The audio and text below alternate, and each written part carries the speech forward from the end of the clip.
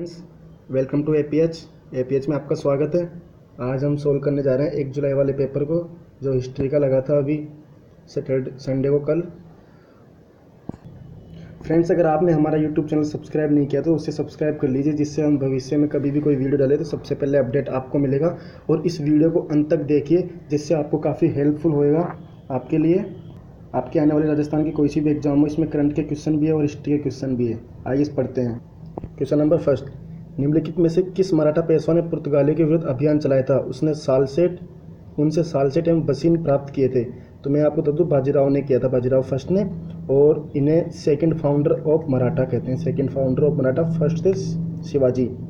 और इनकी उपाधि थी मतलब इन्हें दूसरा नाम बोलते लड़ाकू पेशवा हिंदू पदपात शाही का संस्थापक। तो इस प्रकार से इसका आंसर बी सेंट थोमे का युद्ध निम्नलिखित में से किन के बीच हुआ था? तो मैं आपको बता दूँ, कर्नाटक एवं फ्रांसीसी के बीच होता है, जिसमें कर्नाटक का जो शासक था वो था अनुरुद्दीन और उसका सेनापति था महफूज खां और फ्रांसीसी का सेनापति था पैराडाइज। तो इसमें कर्नाटक और फ्रांसीसी के बीच हुआ था। Question number five. निम्नलिखित में से किस मुगल शासक ने राजा राम मोहन राय को राजा की उपाधि दी थी? अकबर सेकंड ने दी थी। नेक्स्ट क्वेश्चन मेकाले शिक्षा पद्धति से अधोमुख निस्संदन के सिद्धांत इन्फिल्ट्रेशन थ्योरी को त्याग दिया है। तो मैं आपको बता दूँ इन्फिल्ट्रेशन थ्योरी को त्यागा नहीं है। बिल्कुल बिकॉज़ जो मेकाले उन्होंने 2 सितंबर 1835 को यह दिया था, और 7 मार्च को इसको सरकार ने स्वीकार कर लिया था। इन्फिल्ट्रेशन थ्योरी से छिन छिन, छन छन कर नीचे नीचे के पूरे भारतीयों में फैलेगी। इसलिए इसको दिया था इन्फिल्ट्रेशन थ्योरी को। तो इसलिए यह ऑप्शन तो त्याग दिया। हम यहाँ सही कथन पूछ रहे हैं, त्यागा नहीं है। तो इसलिए यह ऑप्शन रॉन्ग हो गया। अठारह सौ पैंतीस में अंग्रेज़ों, अंग्रेज़ी को ब्रिटिश भारत की प्रशासनिक भाषा के रूप में अपना लिया गया था। बिल्कुल सही है, अठारह में अपना लिया गया था। तो यहाँ पर ओनली टू सही है तो केवल टू निम्नलिखित में से किस गवर्नर को भारत में समाचार पत्रों का मुक्तिदाता कहा जाता है? तो इसे लॉर्ड लिटन को कहा जाता है। इसमें से लॉर्ड लिटन नहीं होगा, इसमें चार्ल्स मेटकॉप होगा फ्रेंड्स मिस्टेक हो गया। तो निम्नलिखित में से कौन सा जुड़ा सही सुमेलित है? अठारह विद्रोह और नेतृत्व। तो मैं आपको बता दूँ, फतेहाबाद का नेतृत्व किया था अजीमुल्ला खां ने। फतेहाबाद, अजीमुल्ला खां एंड इलाहाबाद का नेतृत्व किया था लियाकत अली ने और बरेली का नेतृत्व किया था खान बहादुर खान ने और फैजाबाद का नेतृत्व किया था फिर मौलवी अहमद ने। तो कौन सा जोड़ा सही सुमेलित है? तो देखो, इसका भी नहीं है, इसका भी नहीं, इसका भी नहीं है, इसका जोड़ा सही सुमेलित है। Answer D. निम्नलिखित में से किस विचारक को महाराष्ट्र का सुकरात कहा जाता है? तो ये महादेव गोविंद रानडे को कहा जाता है। C answer is correct next question Swami Dayanand Saraswati अठारह सौ पचहत्तर में मोरवी गुजरात में आर्य की समाज की स्थापना की थी। बिल्कुल सही है। आर्य समाज की स्थापना की थी। सत्यार्थ प्रकाश दयानंद सरस्वती द्वारा रचित पुस्तक है। वो भी हिंदी भाषा में। बिल्कुल सही है। दयानंद सरस्वती पहला व्यक्ति जिन्होंने स्वदेशी का नारा दिया था। बिल्कुल सही है। तो डी आंसर चौदवा क्वेश्चन कौन सा कथन सत्य है? तो भारतीय राष्ट्रीय कांग्रेस की स्थापना का निर्णय अठारह सौ चौरासी ईस्वी में थियोसोफिकल सोसाइटी के अडियार सम्मेलन में लिया गया था। बिल्कुल सही है। दादा भाई नेहरू जी के सुझाव पर इसका नाम भारतीय राष्ट्रीय कांग्रेस रखा गया था। तो कौन सा कथन सकते हैं? सी। स्वदेशी आंदोलन के संबंध में निम्नलिखित में से कौन सा युग में असुमेलित है?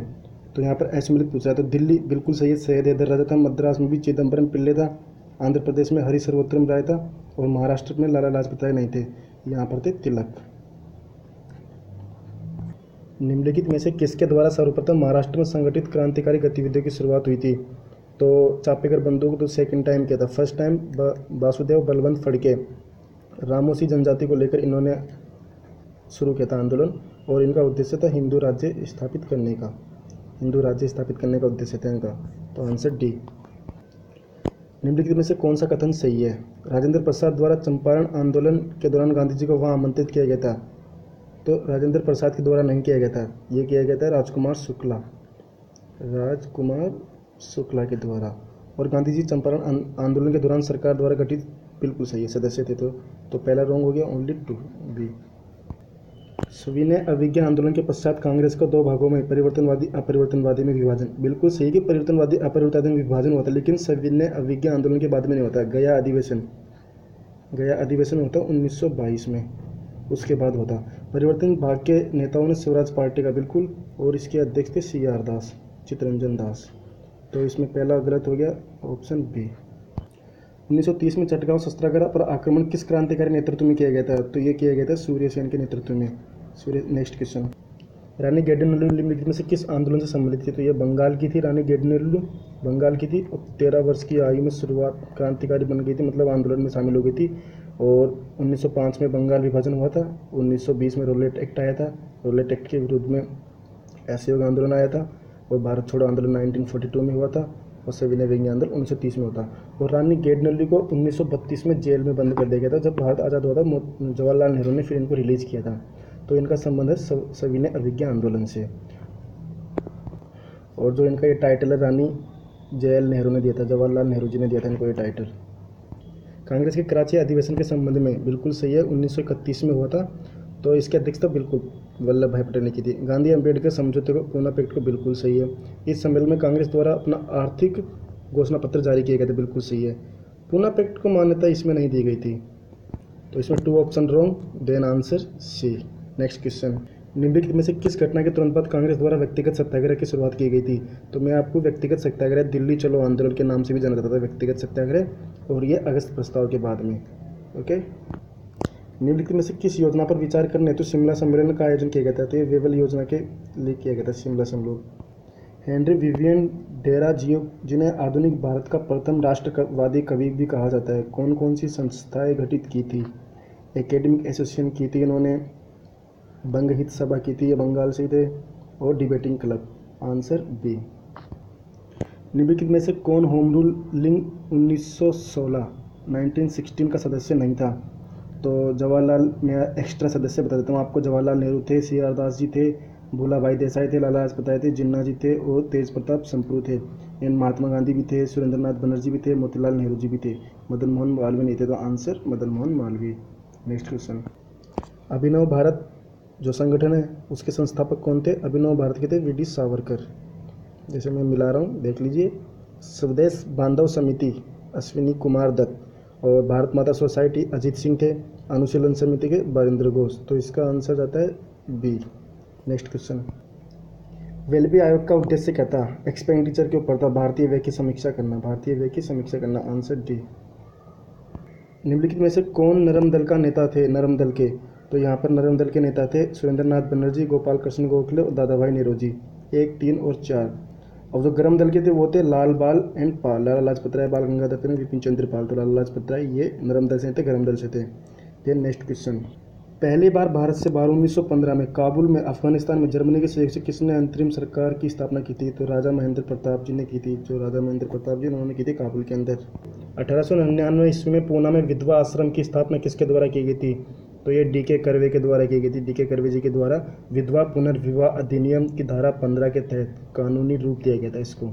नेक्स्ट क्वेश्चन कौन से प्रेस अधिनियम को गैगिंग अधिनियम भी कहा गया था? वर्नाकुलम प्रेस एक्ट को कहा गया था गैगिंग अधिनियम। जलियावाला बाग हत्याकांड 1919 की जाँच हेतु कांग्रेस ने किसकी अध्यक्षता में एक कमेटी की बिल्कुल मदन मोहन मालवीय जी की में की थी? Answer B and question number twenty three question number forty three Rabindranath Tagore ने मई 1919 में अपनी सर की पदवी ब्रिटिश सरकार को लौटा दी थी। उन्होंने ऐसी किस घटना के विरोध में किया था? जलियावाला बाग के विरोध किया गया था।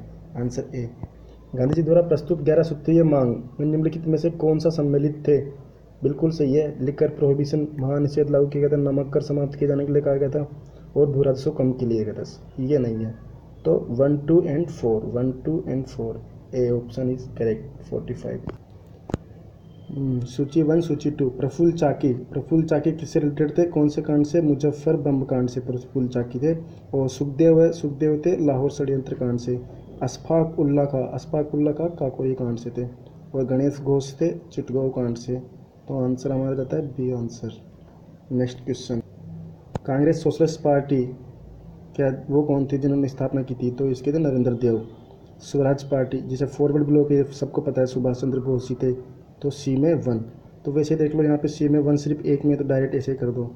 अब आप मिला लेना चाहिए मैं मिला लेता हूँ। और जस्टिस पार्टी जस्टिस पार्टी थे रामास्वामी नैयर और स्वराज पार्टी थे सी आर दास आपको बताया मैंने चित्रंजन दास परिवर्तनवादी। फिफ्टी टू फ़ेमस क्वेश्चन है। ये उन्नीस सौ बत्तीस में पूना समझौते के साथ प्रत्यक्ष रूप से संबंधित था। दलित वर्ग से था। गांधी जी और अंबेडकर जी के बीच में हुआ था। द इंडियन स्ट्रगल नाम से प्रसिद्ध पुस्तक किसके द्वारा लिखी गई थी? सुभाष चंद्र बोस जी के द्वारा लिखी गई थी। भारत के पहले श्रमिक संघ बम्बई मिल एंड एसोसिएशन की स्थापना किसके द्वारा की गई थी? नारायण नारायण मेघाजी लोखंडे। नारायण मेघाजी लोखंडे। बिल्कुल आंसर बी इज़ करेक्ट। विश्वविद्यालय आयोग विश्वविद्यालय आयोग के अध्यक्ष थे सर टॉमस रेले। अकाल आयोग के अध्यक्ष थे एटनी मैकडोनल्ड। पुलिस आयोग के अध्यक्ष थे सर एंड्रू फेजर। सिंचाई आयोग के अध्यक्ष थे sir Colin Scott Moncrieff. Answer हमारा B according to option. Next question. पुनः सार्वजनिक सभा, अठारह सत्तर के संस्थापक थे महादेव गोविंद रानाडे। विधान परिषदों में हिस्सा लेने वाले समर्थकों को परिवर्तनवादी कहा गया। तो निम्नलिखित में से कौन परिवर्तनवादी था? अभी मैंने बताया था स्वराज पार्टी के अध्यक्ष कौन थे? C R Das. और आंसर इसका भी सी आर दास है। अब्दुल गफ्फार खान द्वारा किस आंदोलन के दौरान खुदाई खिदमतगार संगठन का गठन किया सविनय अभिज्ञा आंदोलन। Answer B. नेक्स्ट। भारत छोड़ो आंदोलन के दौरान पहली समानांतर सरकार की स्थापना कहाँ की गई थी? भारत छोड़ो, आंदोलन होता है उन्नीस में। तो पहली समानांतर सरकार बलिया में हुई थी, वो भी चित्तू पांडे के नेतृत्व में। चित्तू चित्तू पांडे। कांग्रेस के किस अधिवेशन में मौलिक अधिकार तथा राष्ट्रीय आर्थिक कार्यक्रमों से संबंधित प्रस्ताव पास किया गया था। कराची अधिवेशन होता है 1931 में, इसके अंदर किया गया था। रेतवाड़ी व्यवस्था का जन्मदाता किसे कहा जाता है? रीड एंड मुनरो स्टार्टिंग में रीड थे। दादा भाई, दादाजी कोट देव शिवाजी के राजनीतिक सलाहकार थे। बिल्कुल सही राजनीतिक सलाहकार थे। शिवाजी ने स्वयं को राजस्थान के चौहान वंश से नहीं, सिसोदिया वंश जो मेवाड़ में, उससे रिलेट किया था। तो कौन सा कथन सही है? तो यहाँ पर ओनली वन सही है। बी रोंग है। तो ओनली वन आंसर ए एक शरण संप्रदाय, एक शरण संप्रदाय शंकर।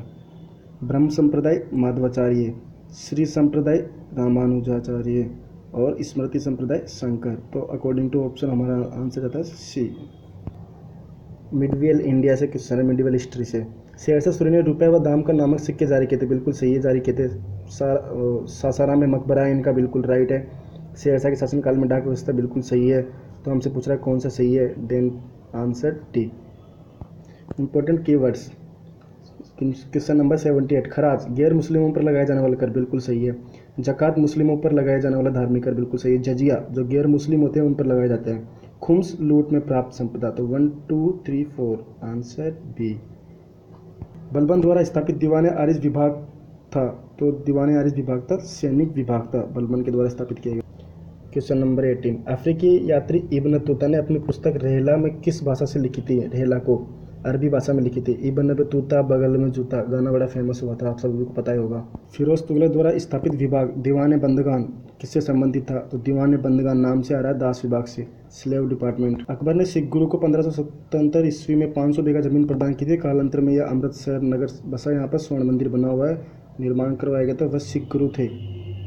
बीघा ज़मीन प्रदान की। कालांतर में यहाँ पर किस अकबर ने सिख गुरु को तो वो कौन से सिख गुरु थे जिनको अकबर ने पंद्रह सौ पाँच सौ बीघा ज़मीन दी थी? Guru Ramdas ji. A option is correct Tarain का तृतीय युद्ध किस किस के बीच हुआ था? पंद्रह सौ बारह सोलह में ये होता है, यलदूज और इलतुतमिश के इन दोनों के बीच हुआ था। दारा सिखो किस संप्रदाय या सिलसिले के अनुयायी थे? तो दारा सिखो थे, कादरी संप्रदाय के। ऑप्शन डी मोहन जोदाड़ो का उत्खनन राकाल दास बनर्जी, आर डी बनर्जी के द्वारा किया गया था। बिल्कुल सही है, यह व्रतनगर, एक छोटी इक्का गाड़ी मिली यहाँ नहीं मिली है हड़प्पा के अंदर मिली है। तो ऑप्शन वन ओनली सही है, केवल वन नेक्स्ट अब करंट सेक्शन स्टार्ट हो चुका है। न्यू इंडिया 2022 डॉक्यूमेंट्स किसके द्वारा पेश किए गए? नीति आयोग के द्वारा पेश किए गए थे। हाल ही में किस देश ने योग को खेल का दर्जा प्रदान किया गया था? सऊदी अरब ने। कौन सा देश महिलाओं तथा पुरुषों के लिए समान वेतन को वैधता देने वाला प्रथम देश बन गया है? आइसलैंड। और थर्टी नाइन राष्ट्रीय खेलों की मेजबानी कौन करेगा? मणिपुर। सरकार ने 2018 को किसके राष्ट्रीय वर्ष के रूप में अनुमोदित किया था? बाजरे के रूप में मिलेट के रूप में किया था। कौन सा देश blind cricket world cup India ने जीता था? भारत का पहला कचरा महोत्सव कहाँ दो हज़ार अठारह कहाँ स्थापित किया गया था? छत्तीसगढ़। वर्तमान में राजस्थान के मुख्य निर्वाचन आयुक्त कौन है? प्रेम सिंह मेहरा जी है।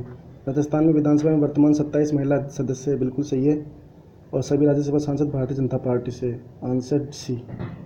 वर्तमान में justice S S Kothari Rajasthan के लोकायुक्त है, बिल्कुल सही है। हाल ही में राज्य सरकार ने लोकायुक्त कार्यकाल चार से छः वर्ष बढ़ाया बिल्कुल सही है। C answer. मई 2018 में राजस्थान सरकार ने महिला कर्मचारियों के लिए कितनी अवधि की चाइल्ड केयर लीव की है? 730 दिन की। ताम्रम एक्सपोन का संचालन किन, कहाँ से घोषणा की गई थी और कहाँ से कहाँ के बीच की गई है? जोधपुर और चेन्नई, जोधपुर से चेन्नई। लेटेस्ट स्कीम अन्नपूर्णा दूध योजना जो अभी कल ही आज ही आज ही लॉन्च हुई है, दो जुलाई 2018 को। ऑप्शन सही है। इसके तहत बिल्कुल सही है। एक से पाँच तक एक सौ पचास एम एल मिल्क मिलेगा और छः से आठ तक दो सौ एम एल तो हमसे पूछ रहा है कौन सा कथन सही है? Then C answer next question Rajasthan में इंटर स्टेट वे बिल का संबंध कौन सा है? बिल्कुल सही है, बीस मई को चालू हुआ था और पचास हज़ार से अधिक के मूल्य पर यह आवाजाही के लिए बिल अनिवार्य किया गया तो आंसर सी कौन सा कथन सही है? ग्राम। ग्राम फ़र्स्ट होता वो जयपुर में होता ग्राम सेकंड कोटा में, ग्राम थर्ड उदयपुर में। तो one A two B D answer doctor सार प्रीसियस अभियान राजस्थान सरकार के किस विभाग द्वारा आयोजित किया गया? चिकित्सा एवं स्वास्थ्य विभाग के द्वारा आयोजित किया गया। पद्माक्षी पुरस्कार, बिल्कुल सही है, आठवीं, दसवीं, बारहवीं बोर्ड की परीक्षा में टॉपर छात्रों को प्रदान किया जाएगा और ये सभी वर्ग के लिए ही है। कौन सा सकते हैं? आंसर सी आज का लास्ट क्वेश्चन हाल ही में राष्ट्रीय महत्व के ऐतिहासिक स्मारकों को शामिल किया नौ मंजिला बावड़ी नीमराना तो ये था फ्रेंड्स आज का पेपर अगर आपको वीडियो अच्छा लगा तो हमारे यूट्यूब चैनल को सब्सक्राइब करना ना भूले। Thanks for watching this video अगले वीडियो में हम मिलते हैं, अगले